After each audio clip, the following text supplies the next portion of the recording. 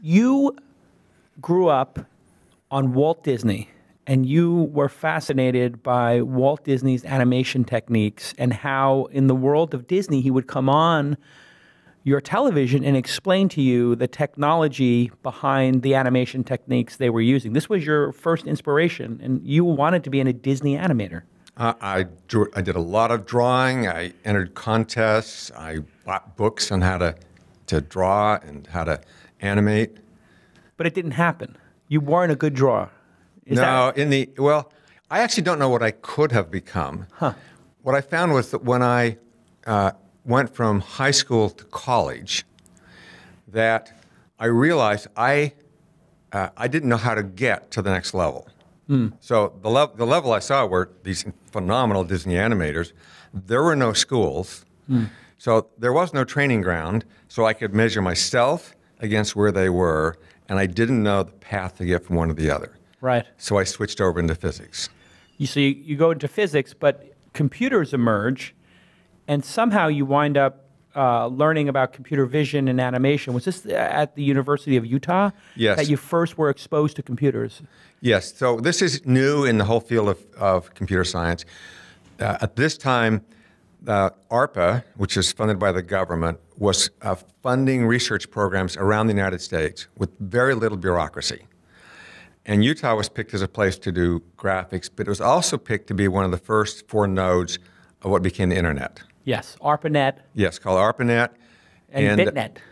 Uh, I Later, the universities, I think they call it BitNet. Yeah. Yeah, there's something there, but the but the ARPANET was the foundation, and later they just changed the name when it became big enough. But I was at the one of the first four nodes, so it, we had the internet people there trying to figure that out. We had compu- a computer graphics group and a vision group, which is unique in that they were together, working together, even though they're they're different. All on the same campus. all on the same campus, and it was completely free and open. Uh, great professors, but also professors who weren't micromanaging. It's like, okay, people, we're at the front of the Easter egg hunt. Cut the line, let's go. And this was a very interesting moment in time because the United States is the 60s, right? The early Yes. 60s. And the United States was in a panic over Russia. Sputnik had happened. And the government wanted to have basic research because they felt technologically we needed an advantage if we were going to become or maintain supremacy in the world versus the communists versus the Russians. Was Yeah. the driving force behind giving you all the ability to just freely experiment with technology. It, the, the thing that I loved about it, and is that this is in retrospect, Yeah. because I grew up with the fear of the, of the communist threat. Right. But in 57, they uh, launched Sputnik, and it scared the U.S. incredibly because they had jumped ahead of us. And the interesting thing about that is the response to that fear was to go out and fund smart people. Amazing. That's an enlightened response. And oh, it's yeah. not one that you hear about today. Like, No. And it's like, they did the right thing. It's amazing. They, they said basically we should just let smart people pursue technology so we get an advantage, as opposed to going to war, blowing And- places up. And they built, we built, the U.S. still has by far the greatest uh, acad, uh, uh, graduate and academic program, uh, system in the world. And it comes out of that mindset post World War II. Uh, and then this is fueled by ARPA, and the whole computer industry is built out of that, uh, uh, uh, that group of people who, who, were, who went to school funded by ARPA, and it's now called DARPA. Yeah. But it, it was an amazing period and very uh, formative for me. Right. Who there were? You had some contemporaries in there who went on to great things as well.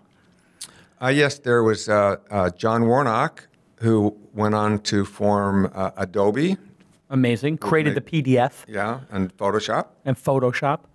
Uh, Amazing. There was Jim Clark, Netscape. did Netscape uh, and Silicon Graphics. Um, we had Alan Kay, To computer interfaces. the computer interfaces, as well as this is the one he's probably. I mean, this is more technical and like in the technical world, but the um, uh, object-oriented programming, which- and you know it's C++ largely now. Object-oriented programming came out of Alan Kay. Right. He was at Utah when I was there, and then went on to to Xerox PARC. So enormously influential people, and uh, and a, a great group of people to work with.